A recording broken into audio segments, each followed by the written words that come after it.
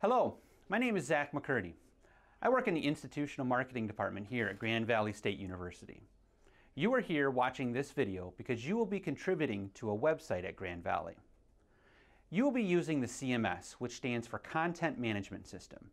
If you have any questions on how to use the CMS, we have several other trainings available. Visit the web team page if you wish to learn more.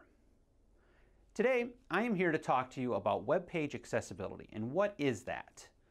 Web page accessibility is the practice of making web pages user-friendly for individuals with disabilities. So why should you care about making a website accessible?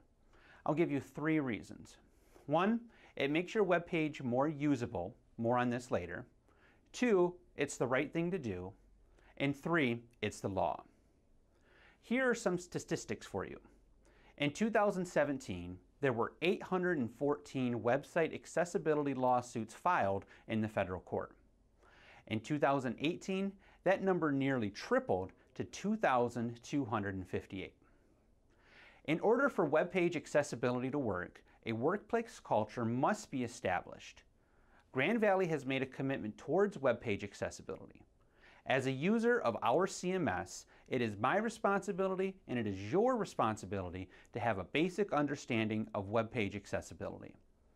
So some myths and misconceptions about web page accessibility.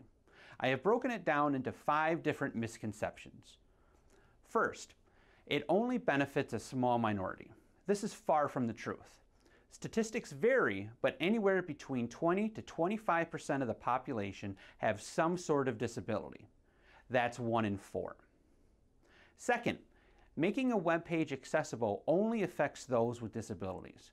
This is also far from the truth.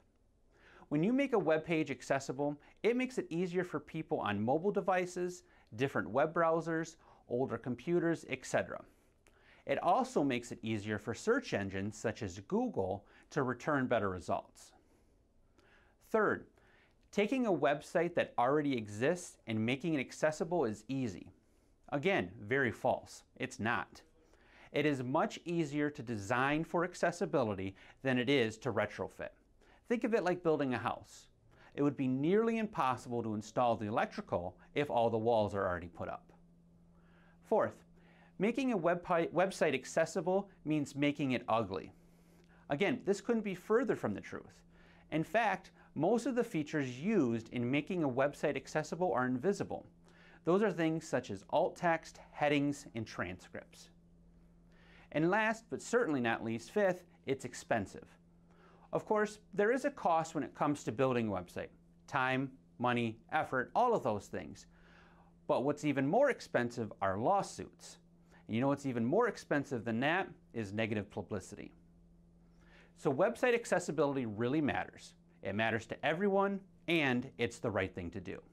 So let's talk about disabilities. There are three different types of disabilities. Permanent, temporary, and situational. Permanent disabilities are a physical or mental illness or condition that affects a major life function over a long time. Some permanent disabilities include individuals who are deaf, blind, or cognitively impaired, such as Down syndrome. Temporary disabilities are a physical or mental disability which hampers your ability to perform responsibilities for a short period of time. Some temporary disabilities include individuals who have a broken limb, hand injuries, or a short-term impairment following a medical treatment or surgery. Situational disabilities are disabilities that can generally be resolved by a change in the environment and can be solved quickly by the user. Some situational disabilities include a room being too bright, a room being too loud to hear a video, or the inability to see a screen due to a glare from the sun. These can typically be resolved by the user, such as moving to a different room or closing the blinds from the sun. So let's expand on our discussion of the different types of disabilities and talk about the specifics of who are we helping when we make our website accessible and the technology they would use to help aid them. First, let's discuss users with visual disabilities such as low vision, blindness, and color blindness. For a person who is visually disabled, navigating a website could be very challenging. Here's what the gvsu.edu website could look like to a person with no visual disabilities. For a person with low vision, they would need to be aided by technology in order to view the website. Here's a demonstration of how a person with low vision would see the GVSU website. Now, here's what the website looks like using a piece of software called ZoomText. ZoomText is just one of the many examples of a program tailored for users with low vision. As you can see, with the help of ZoomText, the person with low vision is able to see the website. Next, we will be discussing navigating a website for someone who is blind. For these individuals, they rely on a piece of technology called a screen reader. The screen reader will speak the content of a website to a blind person. Going back to the GVSU homepage, here's how a blind individual would browse the page. Chrome, Web Team, Grand Valley State University, Google Chrome window, link, skip to main content, visited link image, Grand Valley State University logo, search people and pages edit text search, visited link, web team, visited link, about us, menu collapsed menu pop-up link, projects, collapsed menu pop-up link, collapsed menu pop-up link, content creation, collapsed menu pop-up link, tools, visited link, what's new, visited link, contact us, link, Examples include admissions applications, e-benefits, seminar registration, and the online curriculum development Camtasia 2008. And lastly, for someone who is colorblind. As an example, on this web page, it is asking for a person to click on a link that is red. For a person who is not colorblind, they would be able to easily find the answer. However, for a person who is colorblind, the page would look like this. A colorblind person would have no way of distinguishing the different choices. Now, let's discuss individuals who have auditory disabilities, such as deafness or hard of hearing. For a person who is hard of hearing or deaf, the answer is very straightforward. Videos must have captions or transcripts, such as closed captioning. And the transcripts must be provided for audio-only content, such as podcasts. In order to ensure that individuals with disabilities are able to navigate the web pages we are creating, we must follow some rules when it comes to building a web page. Here are a few things you will want to avoid when creating your web page. Fancy fonts. In this example, you will see that while these fonts look nice, they are also harder to read. You will want to make sure you choose fonts that are very easy to read. Text justification. If the text is configured as justified, it creates spaces between words.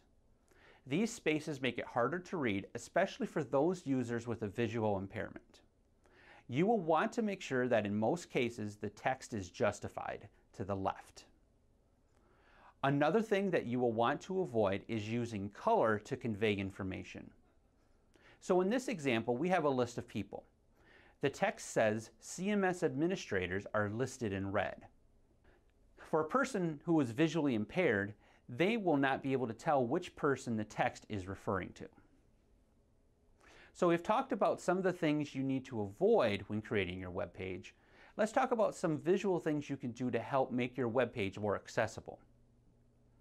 If you are trying to emphasize a word or phrase, you could change the font to be bold or italic.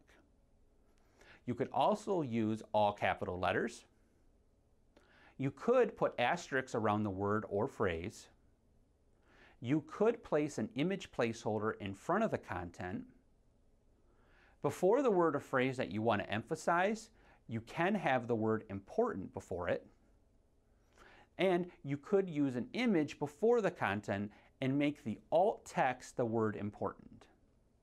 So let's talk about alt text and what it is. Alt text is also known as alternative text. It is a description of an image in case that image fails to load. It is an invisible description that is read out loud by a screen reader. Alt text should strive to answer a simple question.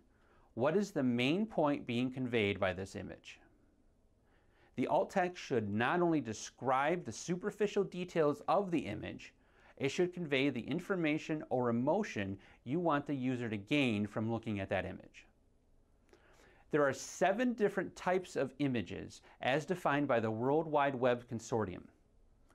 The GVSU CMS is concerned with the following four types. Informative images, functional images, images of text, and complex images. Informative images are images that represent concepts, information, or emotions. They are typically graphics, photos, or illustrations.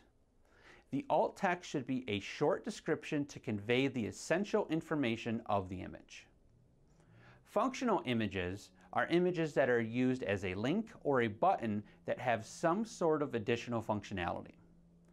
The alt text should describe the functionality of the link or button rather than the details of the image. Examples of functional images are an image of a printer icon to represent a print function. Images of text are images of readable text. If the image is not a logo, you should avoid using text in images. However, if images or text are used, the alt text must contain the same words that are used in the image. Complex images are things such as graphs and diagrams. To convey the data or information, you must provide a full text equivalent of the data or information. Next, let's show an example of each of these discussed images. This is an example of an informative image. The alt text should be a short description to support the idea of the image or convey the emotion of the picture.